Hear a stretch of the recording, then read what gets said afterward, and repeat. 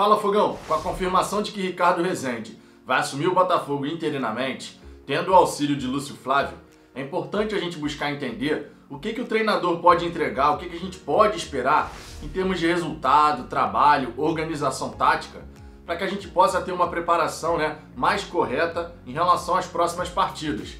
E já já vou comentar em detalhes para vocês.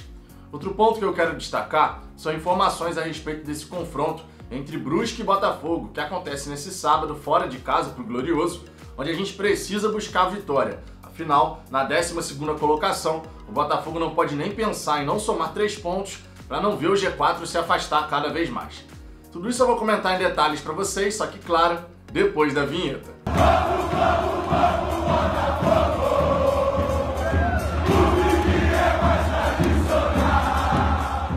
Vamos lá, Fogão, se você gostar desse vídeo, peço por gentileza que você deixe o seu like e caso não seja inscrito ainda no Fala Fogão, clica aqui embaixo do vídeo em inscrever-se, depois no sininho que aparece ao lado para poder ativar todas as notificações. Assim você vai ser sempre avisado quando tiver vídeo novo no canal e de quebra me ajuda a alcançar a marca dos 7 mil inscritos.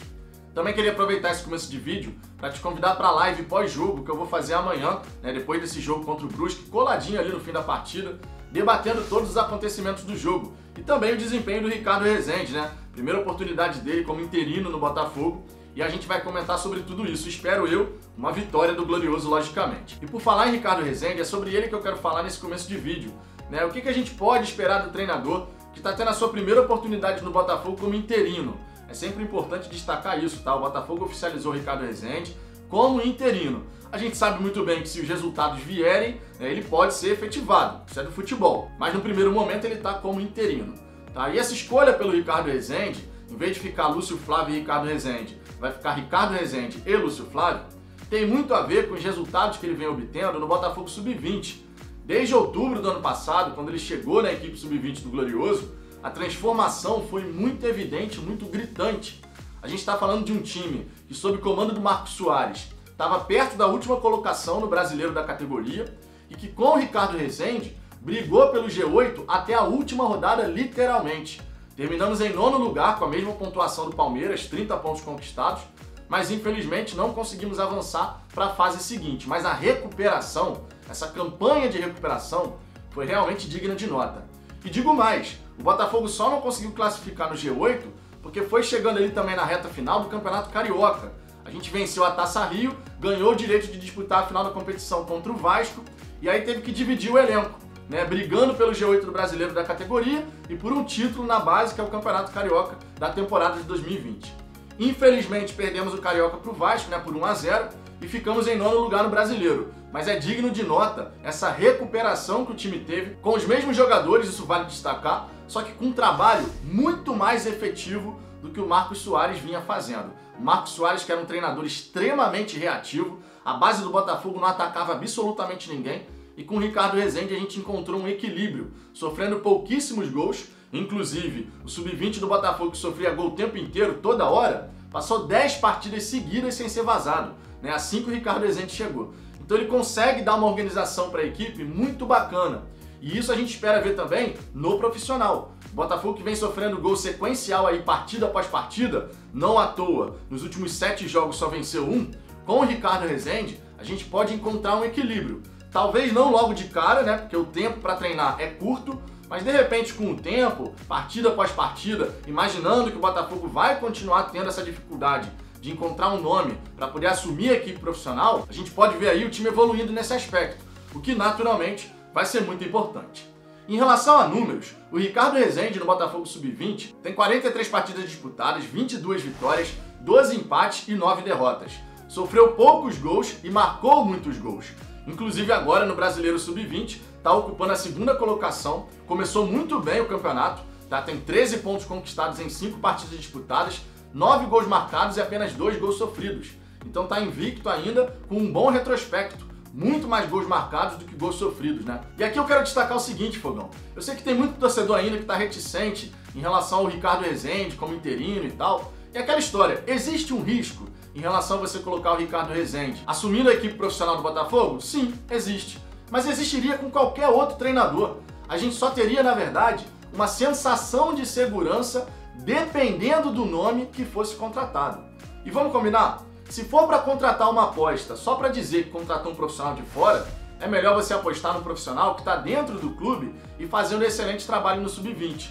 Tá certo que base é base, profissional é profissional. A gente vai ter que ver como é que vai ser essa transição do Ricardo Rezende em outros momentos no próprio Botafogo a gente viu a gente queimar etapas, subindo um treinador da categoria de base para a equipe de cima, mas no caso do Ricardo Rezende, tem embasamento. Os resultados que ele está apresentando corroboram essa decisão da diretoria, que no meu entendimento foi uma decisão correta. Foi o que eu falei. Se é para trazer uma aposta qualquer de fora do clube, só para dizer que contratou um profissional que não estava no Botafogo, então que você faça a aposta no profissional da casa que parece ter conteúdo e capacidade para fazer um bom trabalho. Tá certo que o diálogo com garotos na base é uma coisa e o diálogo com os profissionais é outra. Você vai ter jogadores ali de diferentes experiências, idades, isso pesa e conta muito. Mas o Ricardo Rezende está né, tá mostrando ter capacidade para fazer um bom trabalho.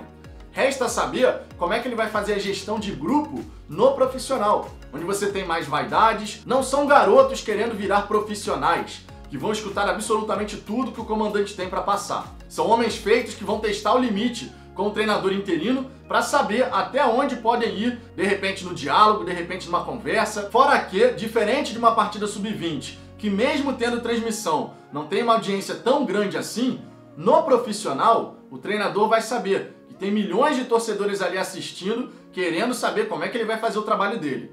Tudo isso pesa, é um ambiente bem diferente, mas eu acredito e torço muito para que o Ricardo Rezende demonstre o conteúdo e a capacidade que ele demonstrou no sub-20 também na equipe de cima. Falando agora a respeito dessa partida diante do Brusque, tem algumas informações que são importantes a gente passar, justamente porque esse jogo do final de semana o Botafogo tem que vencer.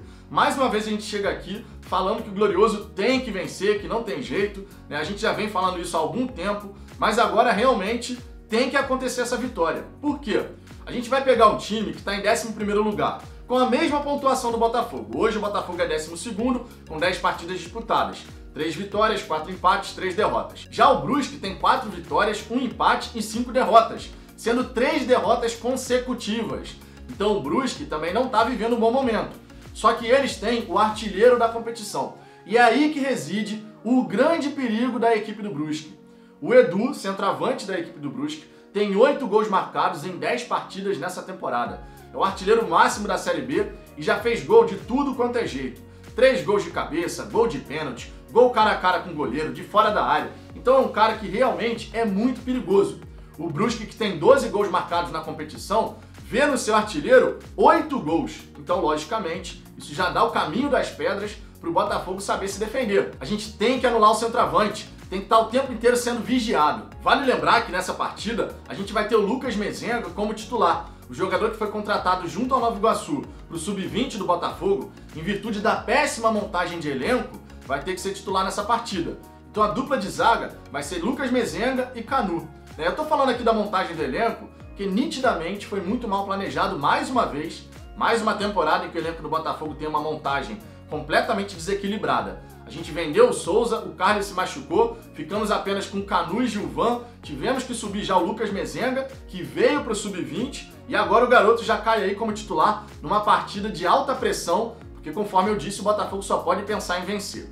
Nessa partida diante do Brusque, a gente vai ter o Ricardo Rezende montando pela primeira vez a equipe do Botafogo, auxiliado pelo Lúcio Flávio. Para ser muito sincero com vocês, eu não acredito que a gente vai ver grandes mudanças na estrutura da equipe logo de cara. Né? São poucos dias para treinar, que a gente pode ver de verdade é uma mudança de postura, de atitude, de comportamento e, obviamente, algumas jogadas melhores trabalhadas. Isso pode acontecer, mesmo nesse curto período, o Ricardo Rezende pode dar ênfase a alguns aspectos do jogo.